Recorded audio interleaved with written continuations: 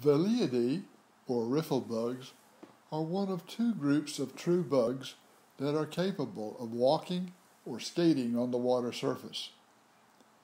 In both riffle bugs and water striders, family Gerridae, the ends of the feet, or tarsi, have special water-repelling hairs that allow these insects to stand on the water surface without breaking the natural water surface tension.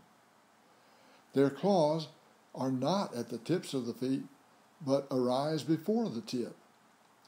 These claws do not repel water, but pierce the water surface to give the bugs a purchase for per- pushing themselves forward.